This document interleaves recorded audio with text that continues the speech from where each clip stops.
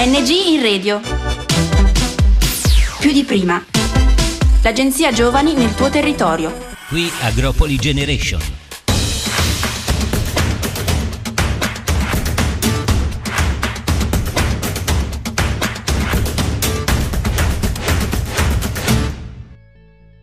Ben ritrovati a tutti i radioascoltatori di Energy in Radio Agropoli Generation. Stasera parliamo di una tematica molto attuale e molto interessante inerente alle tecnologie, infatti specie social. Con noi Roberto Esposito. Ciao Roberto, buonasera. Ciao, buonasera. Buonasera anche a tutti quanti i ragazzi. Allora Roberto, ehm, tu insomma sei considerato praticamente il mago del web, potremmo dire fondatore della piattaforma Zerev, che si è interessata insomma della raccolta fondi durante la pandemia, cofondatore del Gifone Innovation ehm, Hub e fondatore della Forkeep. E eh, inoltre sei riuscito a stabilire il Guinness World Record per eh, insomma, il numero di commenti sotto un singolo post eh, di Facebook. Ecco, io partirei dall'ultimo aspetto insomma, parlaci un po' di questo record che sei riuscito, sei riuscito a stabilire. Insomma, come è nato il? Allora, il, il, Guinness World Record è divertente perché è una cosa in realtà nata per caso, nel senso che non volevo battere un record. Eh, però io ero molto attivo sui social mentre studiavo all'università e quindi avevo un mio blog dove scrivevo un po' di cose che pensavo e le pubblicavo anche sui social. In quel periodo, io sono un po' più grande di voi, Facebook era il social principale, quindi Instagram era ancora appena nato, quindi erano ancora social molto piccoli, quindi usavo principalmente Facebook per parlare con le persone. C'era un bel po' di persone che mi seguivano e di conseguenza io, eh, anziché solo scrivere e far leggere e commentare gli altri, iniziai ad inventarmi un po' di cose per coinvolgerli e quindi per farli partecipare in maniera più attiva e quindi mi inventavo delle cose dove di fatto o facevo delle domande o inventavo eh, delle cose partecipative dove insomma chiunque dava un contributo. E un giorno eh, girando sul web scoprì che una grossa azienda americana che si chiama Zynga, che è la, una delle più grandi aziende che si occupa di videogame online, tutti quei giochini che vi capita di vedere sui social o che fanno un sacco di app, ehm, quindi sul mobile, eccetera, eh, vengono fatti da questa azienda che è quotata in borsa, quindi è un'azienda gigante aveva fatto un post su Facebook scrivendo chi commenta questo post ha un coupon di 5 euro, roba del genere, per giocare ai nostri giochi e quindi avere dei crediti e delle app gratuite.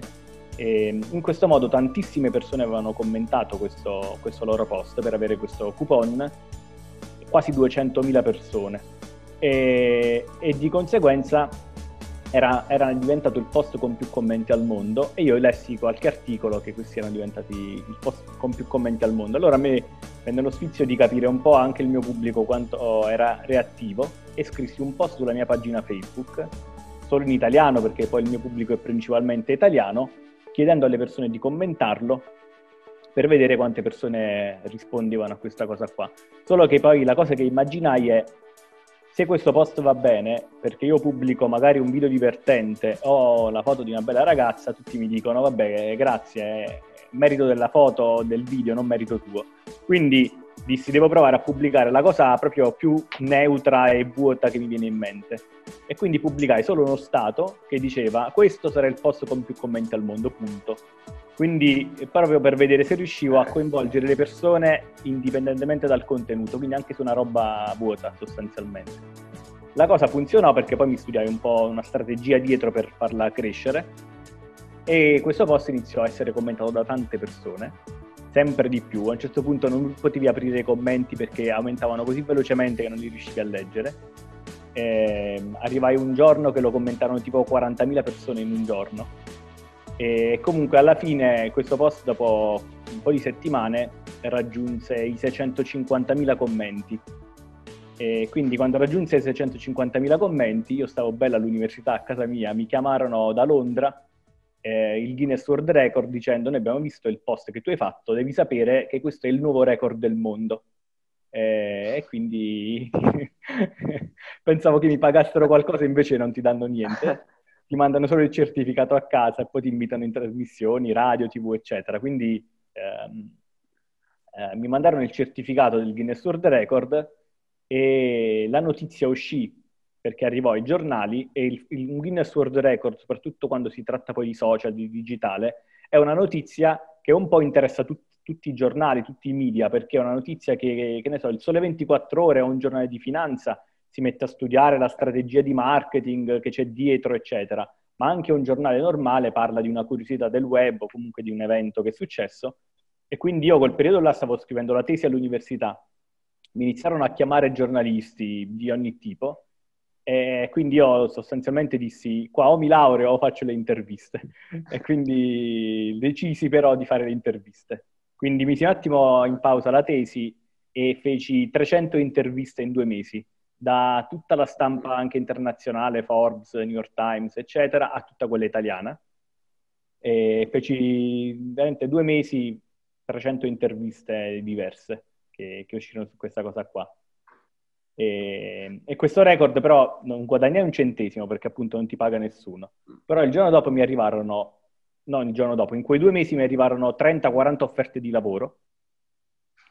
Eh, perché dato che i social stavano esplodendo, le aziende stavano iniziando ad assumere i social media manager e quindi cercavano social media, trovavano me che avevo fatto il record e mi chiamavano per dire vieni a lavorare da noi. Solo che io non l'avevo fatto per cercare lavoro, né volevo fare quello là, quindi rifiutai le proposte eh, però l'unica cosa importante è che mi portò tanta visibilità e quindi di fatto tutta quella visibilità diventarono nuove persone che mi iniziarono a seguire sui social e quindi aumentò il mio pubblico di fatto. Quindi è nato come gioco, però poi si è tramutato di fatto in lavoro quasi, potremmo dire. Sì, perché poi sì, di fatto è diventato un primo, un primo progetto sperimentale che ho testato così, che poi ne ho fatti altri fino a farlo diventare il mio lavoro. Benissimo. Adesso direi di passare la parola, la parola ai ragazzi, hanno qualche domanda. Direi di partire da Daniele, qualche domanda. Sì, ciao, buonasera. Roberto, eh, ho visto che hai studiato ingegneria aerospaziale e volevo chiedere se in qualche modo è servito con tutto quello che è successo dopo, oppure no. Assolutamente no, nel no. senso che no, per niente proprio, ma perché quando mi sono iscritto all'università mi piaceva fare tante cose, cioè io volevo fare i video, volevo fare cinema, poi volevo scrivere, eh, volevo studiare scrittura, poi volevo fare roba legata al web e al digitale e poi ero appassionato di tutto ciò che è astronautica, spazio, eh, esplorazione spaziale.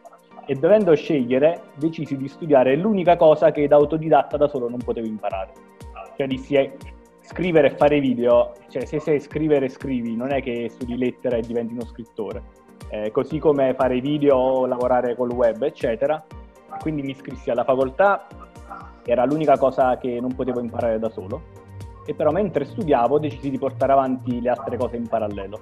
Quindi mentre ero all'università, io ho studiato a Napoli, eh, di fatto seguivo i corsi, studiavo e poi mi mettevo al PC e mi inventavo questi progetti, tipo il mio blog, poi i social, poi le altre iniziative, il record, eccetera, che portavo avanti in parallelo. E queste cose poi nel tempo sono cresciute mentre di fatto io studiavo e, e di fatto poi sono diventate il mio lavoro, non ho più fatto quello per cui ho studiato. Ci sono altri primati a cui aspiri?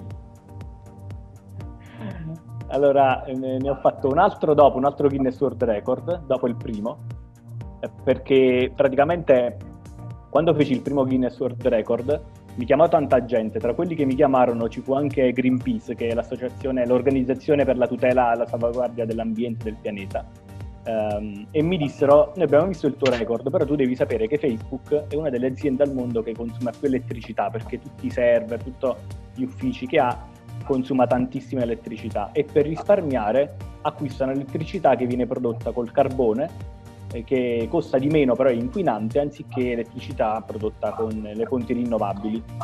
Eh, noi vogliamo sensibilizzare Facebook a usare le, le, l'energia pulita, quindi inventiamoci una campagna, io decisi di dargli una mano e insieme eh, decidemmo di fare una campagna su Facebook però contro Facebook perché un'azienda è molto più sensibile se sono i suoi clienti a segnalargli un problema. Nel senso, se io uh, ho un'azienda che fa una roba e gente che non compra i miei prodotti mi dice tu stai sbagliando, a me non me ne frega nulla, perché non, non perdo i clienti. Se invece sono azie- miei clienti che mi dicono sta roba non ci piace, io sono più sensibile e pronto ad ascoltarli per dire no la cambiamo, per farvi contenti. Su Facebook i clienti sono gli utenti, cioè siamo noi che siamo iscritti. Quindi se un problema a Facebook io lo segnala uno che non lo usa, a Facebook non gliene frega nulla. Quindi l'idea fu quella di fare una campagna contro Facebook, ma su Facebook stessa, fatta dagli utenti di Facebook. E quindi eh, creammo una pagina su, sulla cosa di Greenpeace e un po' come avevo fatto col mio record, scrissi un post per sensibilizzare Facebook a usare le energie pulite. Scrivemmo questo post chiedendo alle persone di commentarlo. Però anziché andare lì sul numero di commenti, andammo sul fatto che tutti i commenti venivano fatti tutti contemporaneamente, proprio un'ondata. E questo perché all'interno delle aziende IT che lavorano con internet e col digitale, anche nella mia, eh, che hanno un sito web o una, hanno una piattaforma come un social network, ci sono degli analisti che controllano il traffico di quella piattaforma, quindi proprio l'andamento di quanti utenti ci sono in quel momento.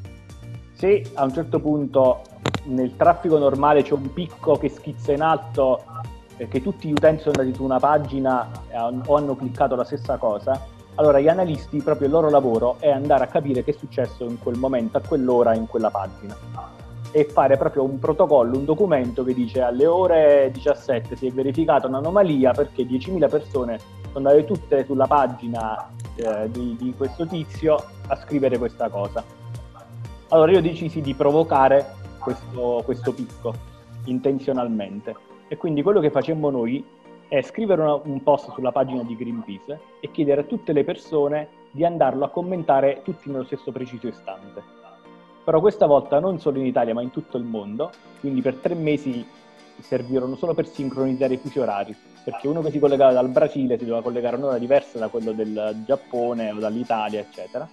Comunque, quando partì questa campagna, 80.000 persone contemporaneamente da tutto il mondo andarono a scrivere un commento a questo post di Greenpeace e, e, e questo post di fatto creò una sorta di rallentamento in Facebook perché era una sorta di sovraccarico, per cui Facebook andò ad indagare per capire che era successo, vide questa protesta e chiamò Greenpeace in California e firmarono un accordo per cui poi dal 2012 Facebook ha usato solo energia pulita e questo post qua divenne un altro Guinness World Record che è il post su tutto il web con più commenti in meno di 24 ore, cioè in un giorno. E quindi divenne, divenne un altro record. Però anche questo qua non era nato per dire voglio fare un record, era nato per dire faccio un'iniziativa e poi è cresciuta a diventare un record. Quindi per i prossimi primati diciamo non è che dico voglio battere questo record, ma voglio fare delle cose che ovviamente hanno risalto e hanno visibilità, poi se battono un record meglio ancora. Però...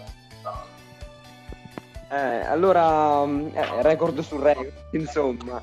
Allora, direi di proseguire con la scaletta e di passare la parola a Chiara.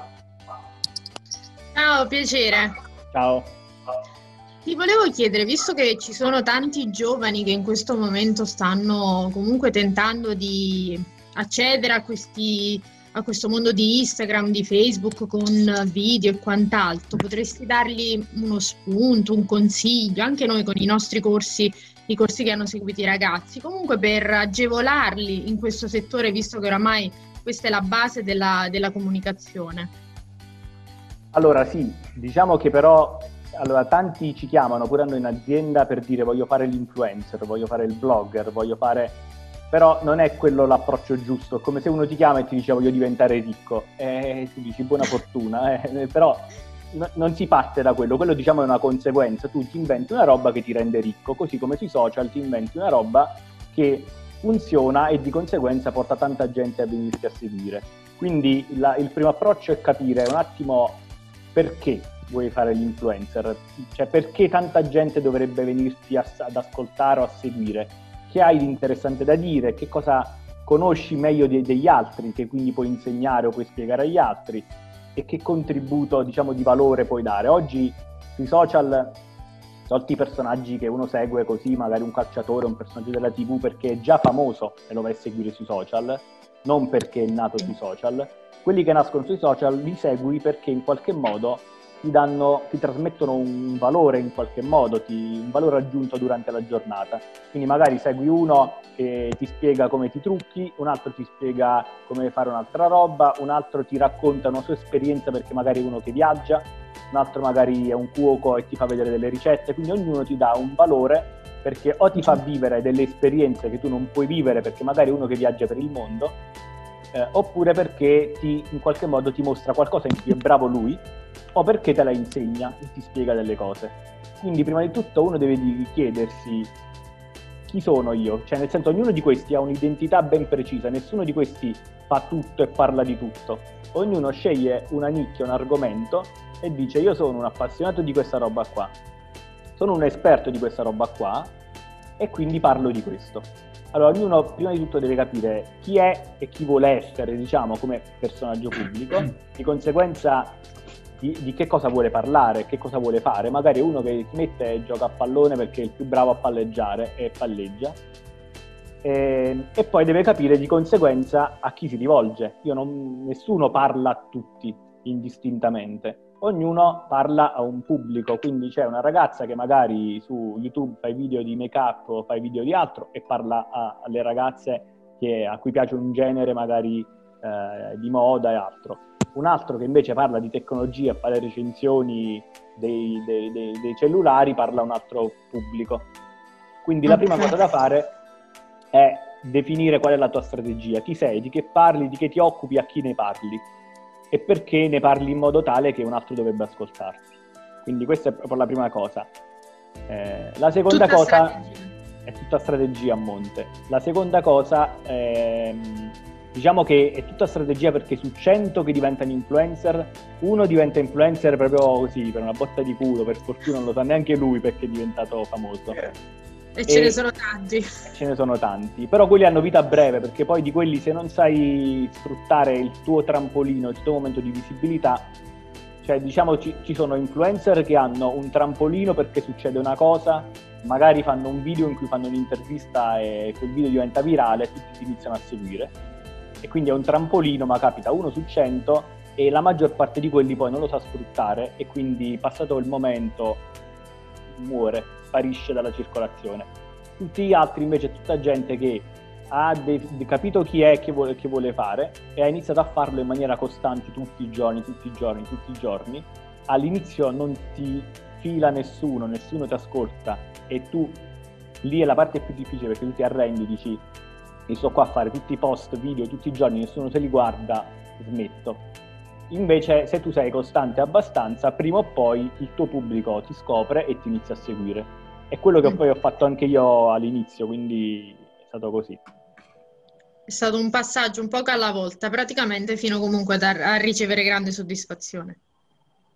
Eh sì, però sì, è dura all'inizio. Eh cioè, sì. Io all'inizio quando ho aperto il mio blog scrivevo 5-6 post al giorno sul mio blog e li leggevano 5, 10, 8 persone e scrivi, scrivi, scrivi. E allora cioè, è meglio che fare studio, mi preparo per un esame anziché scrivere a vuoto roba che nessuno legge.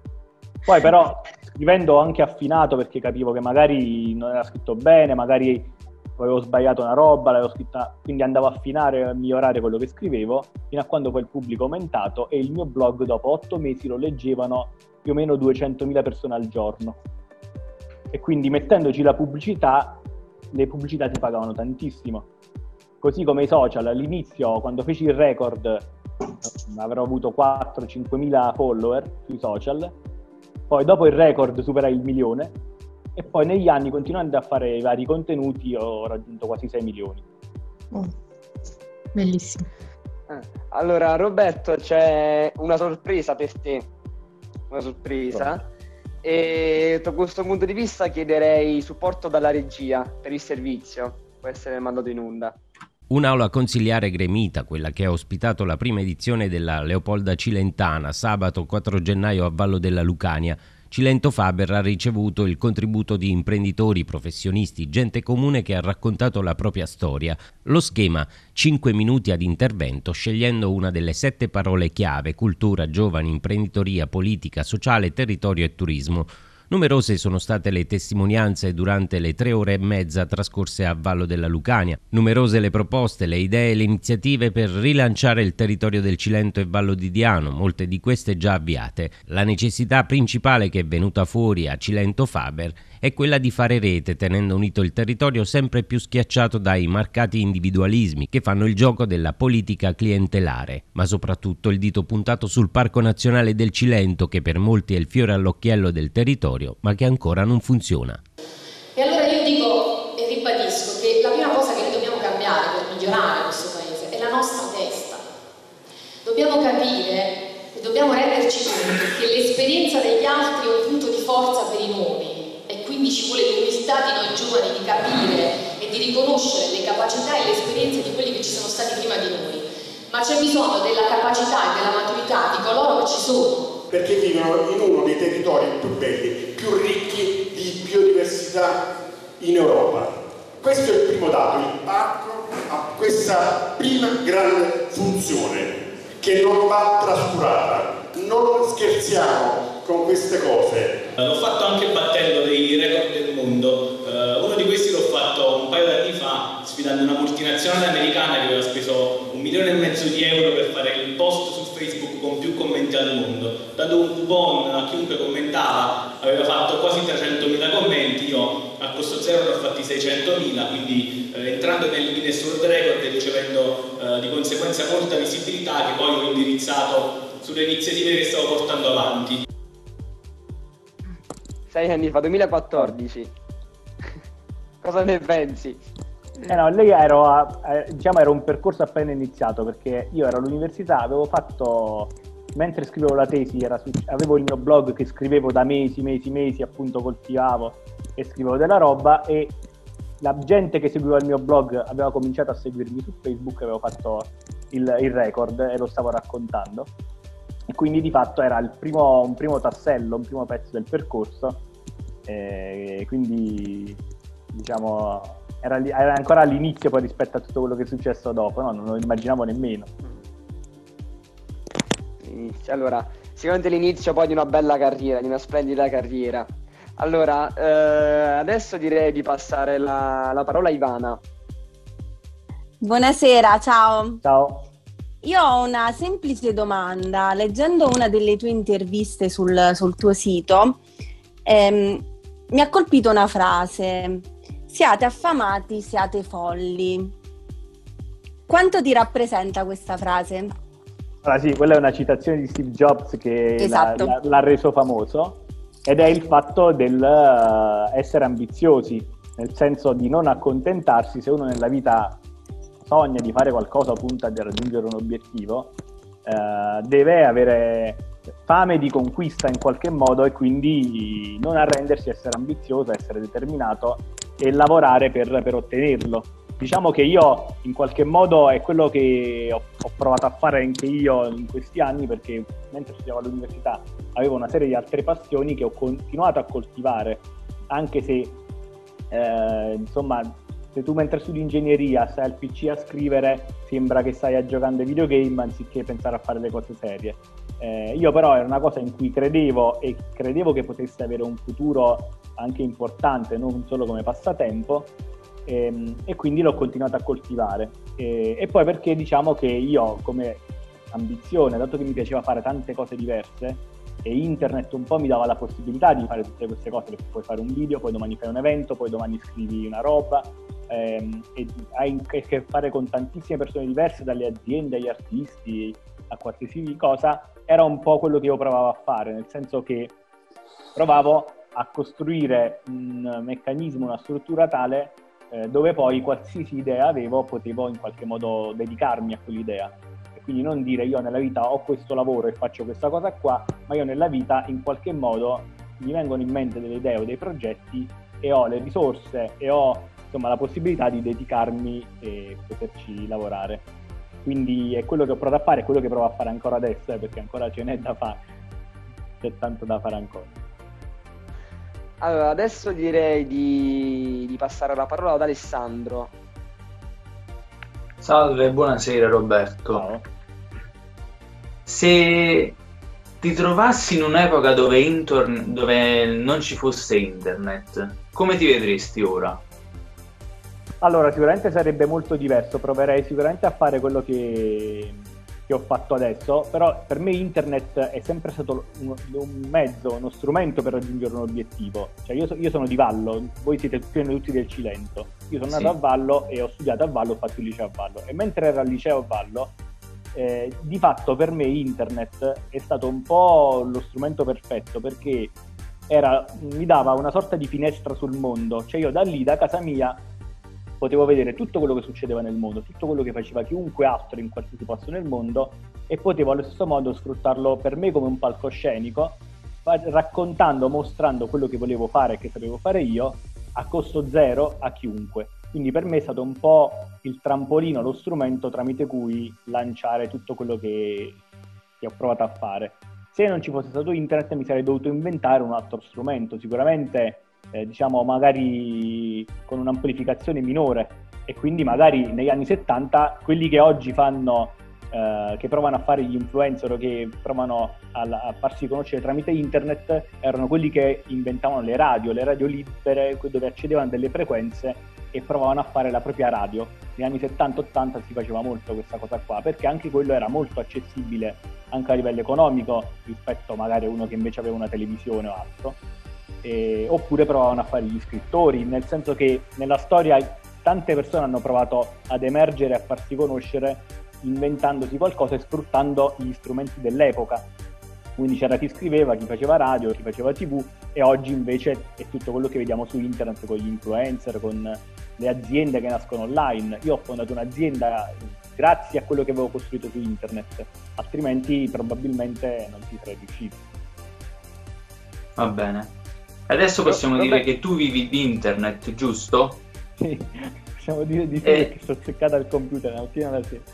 Però sì, perché perché di fatto io poi, per raccontarvi un po' com'è andata, io ho fatto il mio blog, dal blog la gente mi ha iniziato a seguire sui social, sui social mi sono inventato una serie di cose come il record che vi ho raccontato, queste cose sono state notate, quindi i giornalisti parlavano di me e più eh, gli articoli uscivano, più gente mi veniva a seguire, quindi più in qualche modo il mio potere di lanciare nuove idee aumentava, fino a quando poi non mi hanno iniziato a coinvolgere in vari progetti, eh, in varie iniziative anche esterne, e a un certo punto ho capito che poteva diventare un vero e proprio lavoro. E quindi decisi di provare a fondare un'azienda che faceva di fatto quello che io facevo per me stesso, quindi anziché promuovere me stesso potevo promuovere un brand, un'azienda, uh, un personaggio pubblico, eccetera, e quindi di fatto poi è diventato un lavoro. Roberto, vuoi condividere con noi il segreto per farcela? per saperlo.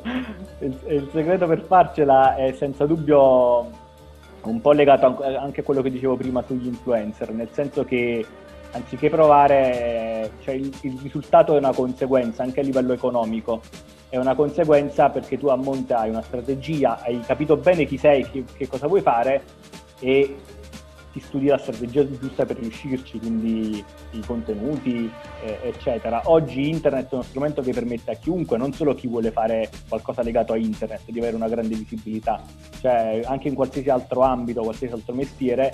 Eh, faccio un esempio, su LinkedIn ci sono avvocati, commercialisti, professionisti, esperti di finanza che diventano famosissimi e eh, cerca, ottengono nuovi lavori, eccetera, perché si fanno conoscere tramite, tramite quello, ma così come negli ultimi anni gli chef, gli insomma, fashion blogger, eccetera. Quindi diciamo, eh, oggi internet è uno strumento che comunque va a monopolizzare qualsiasi settore. Ci sono, cioè, perfino le pompe funebri stanno su Facebook e, e, hanno, e hanno successo, quindi davvero gli idraulici, c'è chiunque quindi oggi è comunque un amplificatore per chiunque se lo sai usare nel modo giusto. Il problema è che devi capire un attimo tu chi sei e che cosa vuoi dire e devi chiederti perché la gente dovrebbe ascoltarti.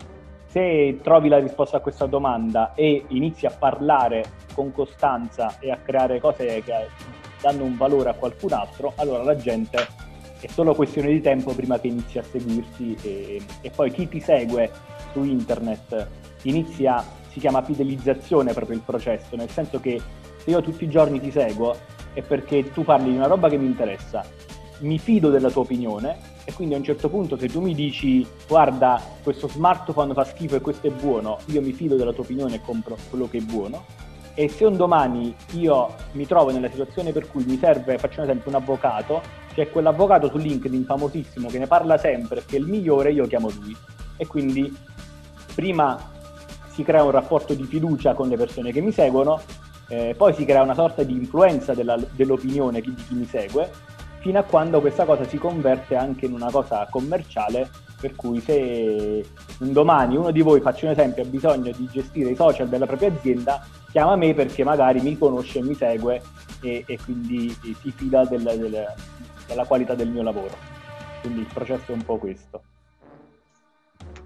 Allora Roberto, noi ti ringraziamo della tua, della tua, presenza, purtroppo siamo qui a parlare fino a domani, purtroppo il tempo stringe e quindi non è possibile, non è, dovremmo chiudere qua. Ti ringraziamo bene, ancora grazie a voi. per la presenza, grazie mille. Grazie mille ragazzi, a voi. Volete, volete salutare Roberto ragazzi? Ciao Roberto, ci ha fatto piacere Ciao. sentire piacere una persona mio. che ce l'ha fatta. ce l'ho fatta ancora, ce ne vuole, però... Vabbè, però sei un buon punto. Sei un esempio. Grazie. Grazie In bocca al lupo per tutto. Crepi, grazie. ANG in radio. Più di prima. L'agenzia Giovani nel tuo territorio. Da Agropoli Generation è tutto. Progetto finanziato dal bando ANG in Radio più di prima di Agenzia Nazionale per i Giovani grazie ai fondi del Dipartimento Politiche Giovanili e del programma europeo Erasmus ⁇